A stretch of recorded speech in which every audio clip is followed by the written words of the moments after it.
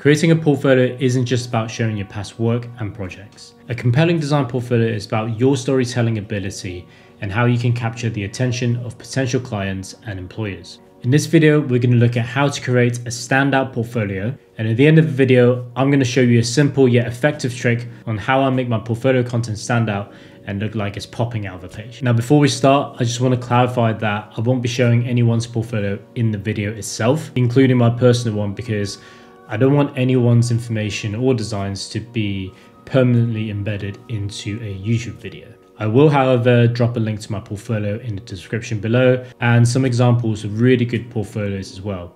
So make sure you save the video and check them out later. So the first thing to do before you even start creating a portfolio is to prepare your case studies. Your case studies are going to be the heart of your portfolio. They're going to illustrate your design process and your problem solving abilities. You'll want to choose your most impressive projects and try and gather as much information as possible, such as sketches, wireframes, prototype, uh, user flows, and any other supporting documents that you might have. Personally, I recommend preparing up to eight different case studies. You might not end up using all of them, but sometimes when you're putting case studies together, you might think actually the information in this one is not actually that good for a portfolio purpose. So then you end up scrapping that one. And in that scenario, at the very least, you've got some backup case studies that you can fall back on.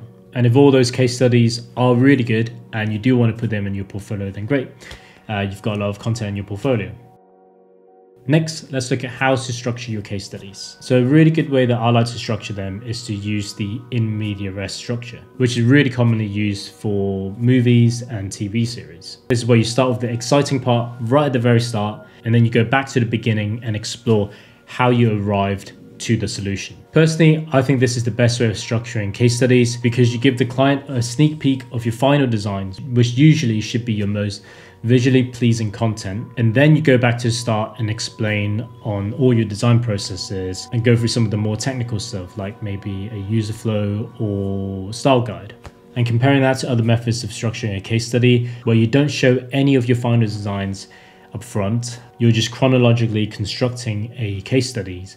What ends up happening is the end client, they might not even scroll to the bottom of the page to see your final output and what they end up seeing is just a bulk of text and loads of scribbly lines, which might not put out a great first impression. And you can check out an example of this structure in my portfolio. So in practice, it will look something like this. You want a large, beautiful hero banner of your final product right at the top. Then you have a project name, then maybe two lines for project overviews. Then I like to add in some statistics to grab the user's attention here. So it can either be your end result, so maybe something like 80% conversion rate, 4.3 stars in the App Store, 2.3 million daily users. Or if your app hasn't been launched yet, then what you can do is list some statistics that helps define the use case. So for example, if we're going to be talking about accessibilities, you can say 8% of the population has color blindness. After that, I like to list the design tools I used. So the reason why I do this is because a lot of the times it's actually going to be the resourcing team or recruiters who are going to be looking at your portfolio. And a lot of the times, even though we know that if you're good in Figma, you can probably use Sketch or Photoshop or Illustrator, but a non technical recruiter might not know that. So if they are very specifically looking for, say, Figma or Jira or GitHub, and you've listed them in your portfolio, then that's really useful for people who might not technically know what they're looking for. And then once I've done those, I will start from the very beginning of the case study and I'll keep each of the paragraphs very, very minimalistic. So literally just one or two lines explaining what you're doing and then an image to support that paragraph and then you keep going until you get to the end of the case studies. Now, a really common issue that I find is that a lot of people write way too much information and turn it into a 10,000 words dissertation. And what you need to factor in is most people will only glance at your portfolio for 10 to 20 seconds before they decide whether or not they want to carry on reading. And even if they do decide to read your whole portfolio, they're not going to read every single word of it. So make sure your script is really concise in order to them to fully understand the project and decide whether or not they want to continue reading. Okay, once you've done those steps and you've got your case studies ready, we can start looking at exploring the landing page of your portfolio. Now think of your portfolio as the front store of you as a personal brand. You want it to be simple, visually pleasing and easy to navigate. I would personally recommend sticking with black and white and then just using one different color if you do want to add a bit of color to your design. The reason for this is because in your case study, you're going to have loads of different colors appearing, especially if you've worked with different clients. They're going to have different style guides, and all of them are going to be appearing on your portfolio page. And if you start adding loads of different colors to your portfolio, this can end up creating a more chaotic design in the user experience of your portfolio, which obviously isn't great if you're applying to be a user experience designer. And in terms of number of pages, I like to just use the home page as the main portfolio page because you want your portfolio to be easy to navigate and concise.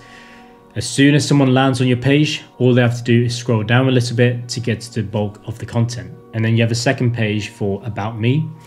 This is where you write a brief description of yourself, uh, what kind of qualifications you've got, and maybe any accomplishments that you've achieved.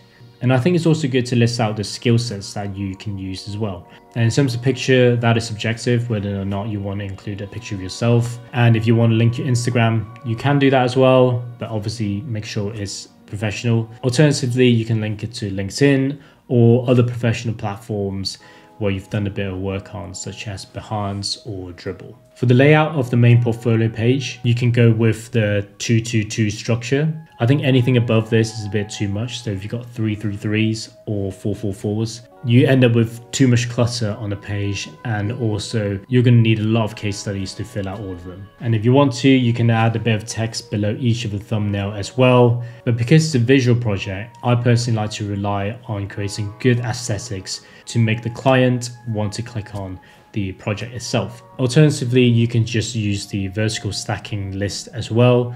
So you're just listing one project at a time and you can structure it so it's left, right, left, right, or centered, or left or all right, whichever alignment you think is best. Personally, I don't like this method as much because it creates a lot of white space on the page, but I know many people who have great portfolios using this method.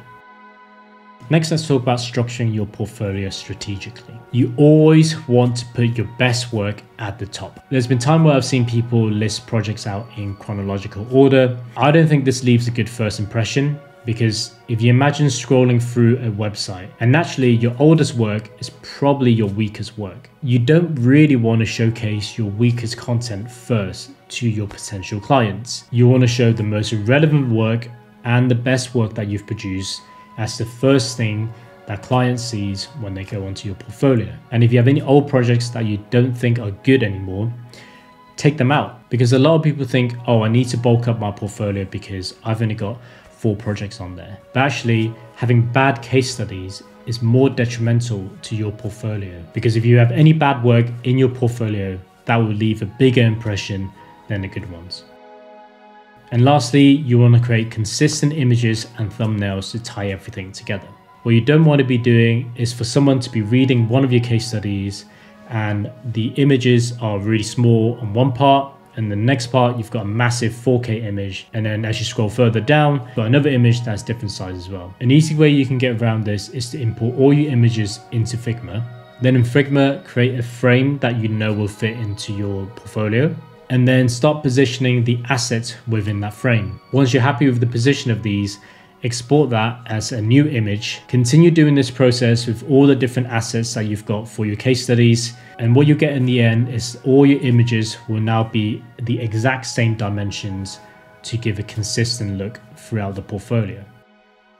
So let's look at a technique that I think anyone can use to start making the objects of their portfolio look like it's popping out of the screen. Okay, so we're in Figma now, and what I've got on the screen here are two designs that I've taken from the Apple design resource. And let's just assume these are my designs for my portfolio. And what most people would do in this instance is they will take the images and put it into the thumbnail area and maybe just position it like this and say Apple home screen design that bigger um, and bold. So if I was to add in the Microsoft Teams design from the Microsoft Team UI kit as well, and you know, it's not terrible. The visual layout is okay. And what I like to do is to customize the thumbnail so it looks like it's popping out of the page. And the first thing we need to do is to outline the frames itself. Right now I've actually framed any of the elements on the page. So I'm just going to do that first. So if I do frame selection on these and then I've selected these three and I do a frame selection as well. And then I'm just going to rename it so it's easier for me. Um, I'm going to call this iPhone and then this will be Teams. Now what I can do is actually just reduce the size of the background layer to something like that. And the height has now been reduced to 280 and I can do the same with the Teams image as well. So reduce that to 280 and then make this a little bit bigger. Now instantly you can see that it just looks like it's popping out of the page a little bit because it's got a little bit more of an overlap within the thumbnail design. It just adds a little bit more character and visually it just looks like it's been thought about a little bit more on the portfolio side. And if I was to drag the iPhone frame out of the portfolio page, it's already factored in the transparent pixel into the image so that if I was to export it and use it for my portfolio on Squarespace, the image itself won't have a background to the transparent layer. So it doesn't matter if you end up changing the background of your portfolio or if you enable light mode, dark mode, the transparent layer will not show in the portfolio itself. Okay, so what else can we do to these images to make it look even better? So I like to use something called Clay Mockup. That's a Figma plugin. You can download that from the Figma community store. And what that does is basically a modal will come up. Uh, and I've prepared the frame without the iPhone bezel. And if I select an image, it'll create a 3D mockup where I can spin it around. Clay Mockup will actually create an export of these images. So let's say I want one that is at this angle and do save as image. So create this image for me. And then if I do clay mockup again, and now I've got the other image selected here and click save as image. Now I've got two images that I can use in my thumbnail. So I'm just going to crop these a little bit so it's easier for me to use. Okay, so now let's drag these into my thumbnail frame.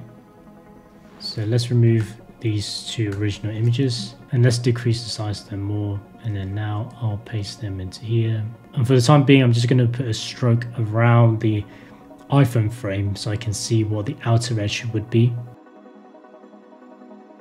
so now what you can see is it just instantly adds a little bit of depth to the thumbnails in your portfolio and I will do the same to the Teams image as well so let's put it out and go to clay mockup so you can actually change the device. So let's do a MacBook. So you can press shift to pan it around.